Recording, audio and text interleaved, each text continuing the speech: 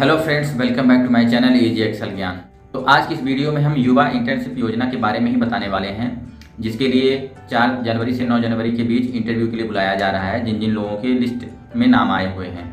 तो इसी तरह कई सारे लोगों के आज इंटरव्यू थे, यानी चार जनवरी को, और कुछ लोगों के आगे आने वाले दिनों में है, कल भी परसों, नौ तारीख तक।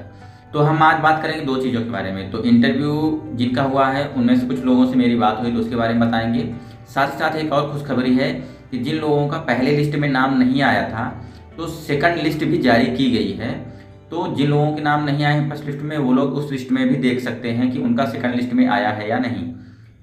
तो उसके लिए कैसे देखना है, वो डिस्क्रिप्शन में मैं लिंक दे दूँगा। क्लिक करते ही देख पाएँगे, आप इसको स्क्रीन पर भी दिखाया जा रहा है। साथ ही साथ मैं कमेंट के पहले नंबर कमेंट में, इस वीडियो के कमेंट में पहला नंबर जो कमेंट रहेगा वहाँ पर भी लिंक दे दूँगा।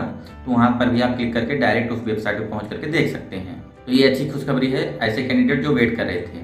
अब हम बात करते हैं इंटरव्यू की। तो जनरली डॉक्यूमेंट वेरिफिकेशन भी हो रहा है आपका साथों साथ और उसके साथ ही आपका इंटरव्यू भी लिया जा रहा है। क्योंकि कैंडिडेट ज़्यादा बुलाए जा रहे हैं तो इंटरव्यू में जो ज़्यादा जानकारियाँ पूछ ली जा रही हैं, वो आपसे संबंधित सामान्य बातें पूछी जा रही है। जैसे आपका नाम, आपके पिता का नाम, आप कहाँ से आए हो, जिस जगह से आए हो, वो जगह से विकासखंड कितनी दूर है और विकासखंड के अधिकारी कौन होते हैं, उसके बारे में थोड़ी बहुत जानकारी पूछी जाएगी।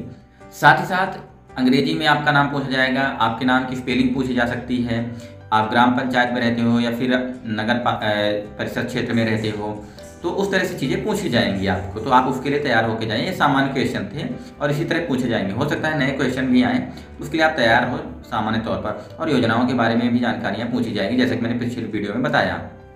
तो इस तरह से जो है आप रेडी होकर के जाएँ।